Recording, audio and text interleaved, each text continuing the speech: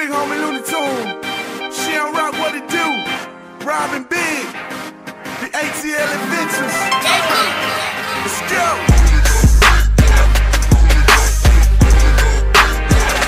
I'm pulling up, big boy. What's up, man? It's your boy T Black, Bottom Up Entertainment, BottomUpRadio.com. Right now, I'm here with a great producer, my homeboy J Coop. What's going on, man? What it do, man? Chillin', man. Hey, talk to the people, introduce yourself. Um, J Coop, man. Been making money, making beats for about a year now. You know what I'm saying? I'm a rookie, man. You know, just not getting started. You know, small fry, but I'm trying to move up. Shout out to Bottom Up Radio Entertainment for flecking with the kid, man. Setting up this interview, man. That's what's up. That's what's up. Hey, first, I want to know uh, where's your inspiration? Who inspired you to come out and be a producer? Oh man, my dad, man, he been playing drums since he was like, you know what I'm saying? He was doing shows when he was like 13 years old, you know what I'm saying? And I grew up in the house, um, we had a studio in our basement.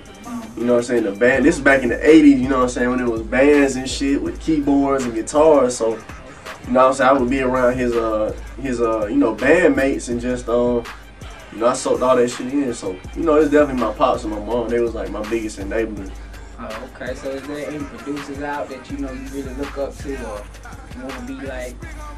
Um, these guys that's been doing this shit for like 20 years, you know what I'm saying? Like, I mean, I don't want to necessarily sound like Timbaland, but I can respect his longevity, you know what I'm saying? Because this this game is so like fly by night, you know what I'm saying, these days. So anybody that's got that longevity, man, definitely in the check too.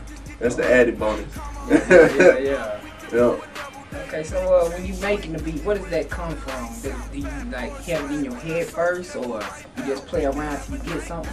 Um, I think, man, you know, I can play a little bit of keys, so like a lot of the time I'll have like a idea, and it might not necessarily be the melody, you know what I'm saying, and it might not really be drums, but it'll be like a feeling, you know what I'm saying, and I'll try to like put that down with the, uh, you know, so I sit there and play with it and try to like get that out. It's almost like, um, it's like art really. So like when you're doing art, you know what I'm saying, you got to get inspired, and when you catch the inspiration, you gotta like put it down like right then. So some days I'll be like real productive, and I try to do quality over quantity.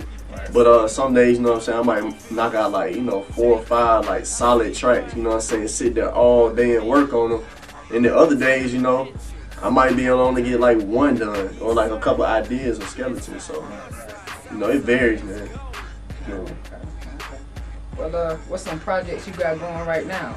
Um, the Trillville, I'm working with Trillville. They um working on a new mixtape and they trying to um put together an album. Um, Travis Porter, they working on Differenter three, so I'm working on tracks for that. Um, who else? You know, I got my own artist, Pretty Boy Fresh and Y.O. Um, Fly Guy Vito, we breaking his song. I break records too, so you know it's getting played on the radio like in uh, Augusta, um, in Huntsville. So um, you know, uh, that's pretty much what I'm working on right now. Okay, so. I know you get a lot of different artists coming into the studio trying to record. And you know, I know some people take like 20 takes to do things, or to take an hour just to get things recorded.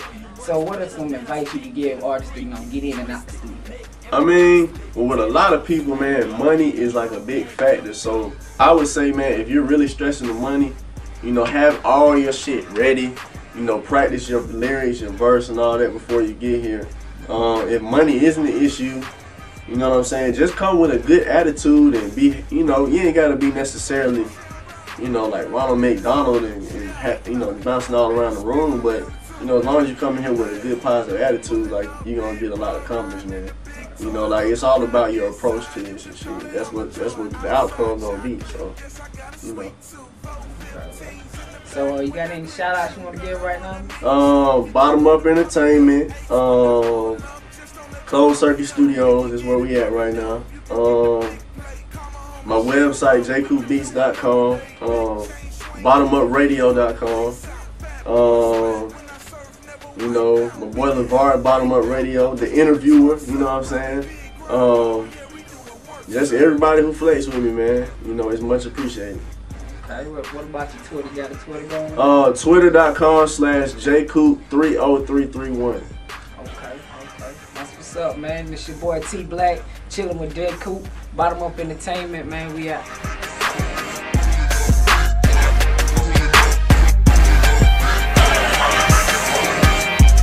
Now, if you ain't got your money right, and you ain't big boy swagging, and your fat pockets don't have your pants sagging, you don't feel this. J. Coop, I see you, boy.